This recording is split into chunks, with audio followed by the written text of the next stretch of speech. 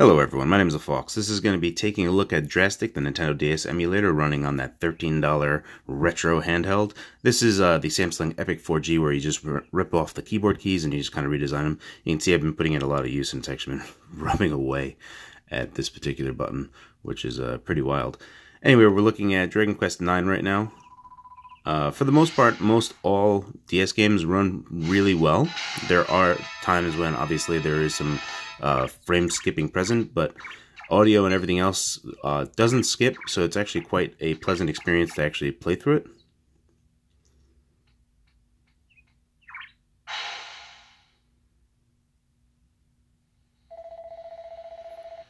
We're going to be showing off four different games in here. I'm just starting off with Dragon Quest IX, which you see right here.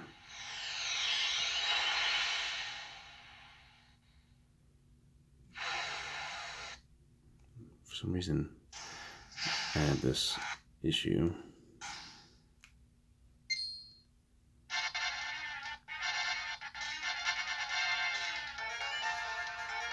Oh, right. So let's go ahead and do this just so that it's a little bit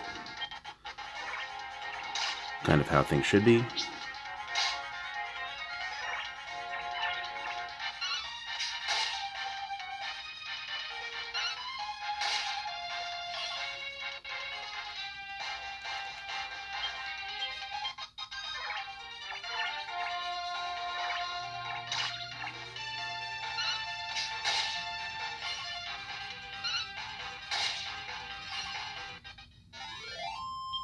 You can totally hear that the sound is breaking up every now and again. Um, so it does happen for uh, pretty intense 3D games. But for the most part, everything runs reasonably well. And mapping some buttons to sw swapping the screen around is kind of necessary, especially for some DS games. Uh, but as it applies for, you know, JRPGs and stuff, having a not quite perfect frame rate is kind of okay. Benevolent Fox. But totally playable. Let's go ahead and show you some other games, so give me a second while I swap that out. Alrighty, here we have Castlevania Dawn of Sorrow, so we'll go ahead and just click start on that. Select data, new game, and I'll just write my, you know, let's uh, swap this out so it's a little bit easier to write.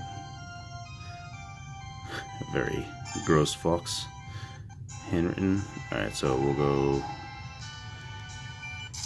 Okay, this is fun.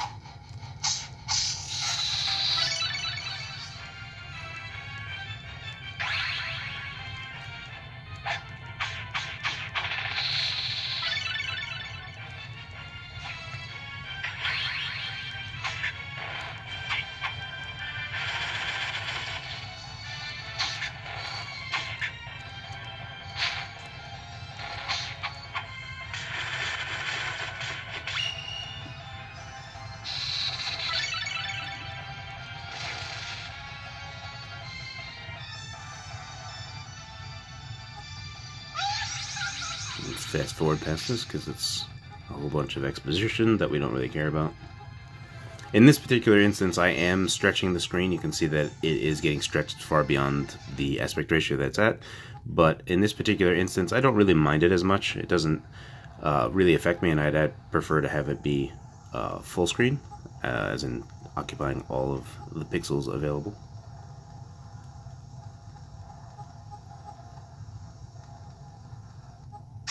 Alrighty, so we'll go here. Naturally, a lot of 2D games operate just fine.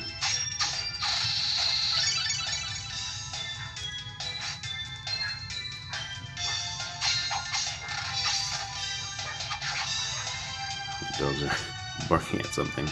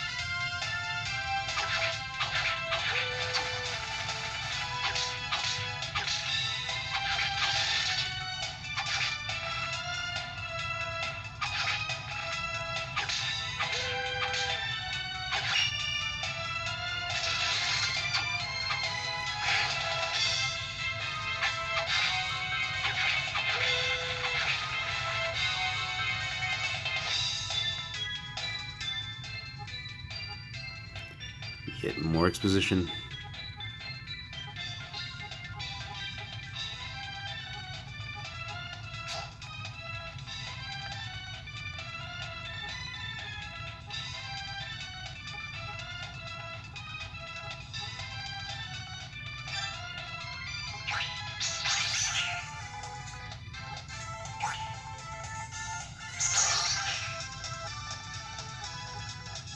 So you can see everything is totally playable with Drastic. Uh, it's more that this is a, show, uh, showcase of how amazing Drastic actually is. He's being able to play uh, DS games on uh, just a single core Cortex A8 at 1.2 gigahertz uh, and have things be playable is absolutely amazing.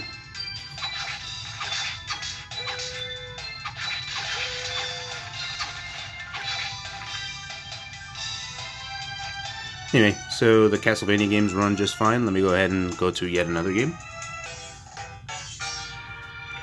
This will be Mario Kart DS. Let's let's go into the faster lane, even though that's ill-advised at this time.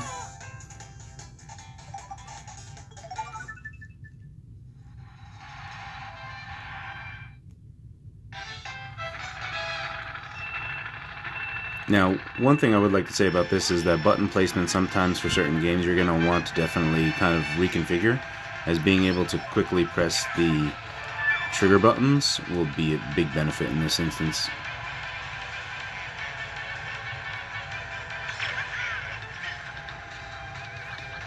Uh, because right now right trigger is mapped over there, so being able to hit right trigger and otherwise is going to be a little bit difficult. Also, left trigger for firing weapons and stuff is kind of difficult. So in this particular instance, I would uh, almost advise people to use the camera button for right trigger. Seems like that would be at least a little bit better.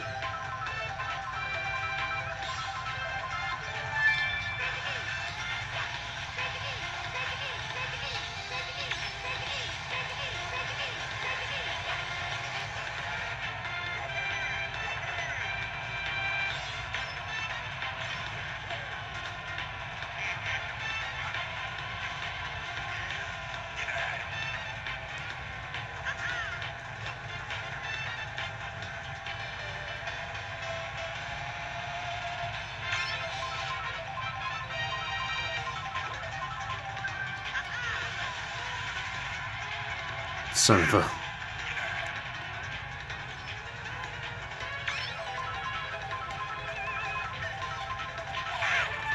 The...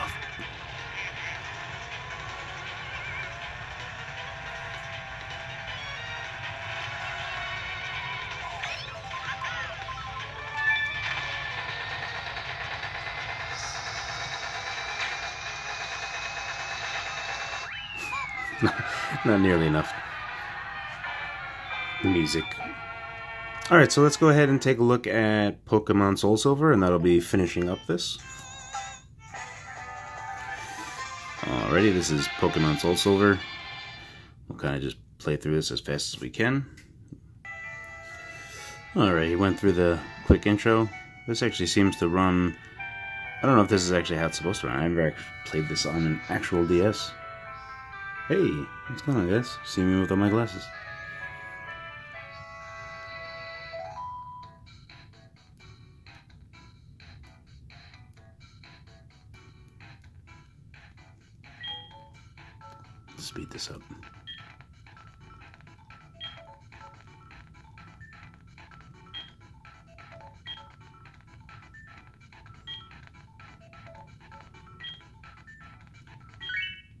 So you can't see that bag, so let's go ahead and just go back to dual view just so we can see everything come up.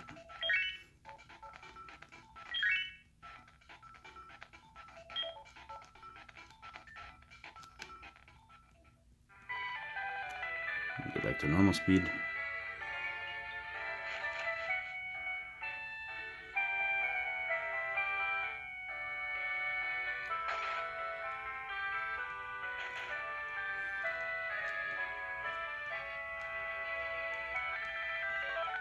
was waiting for someone to come talk to me. You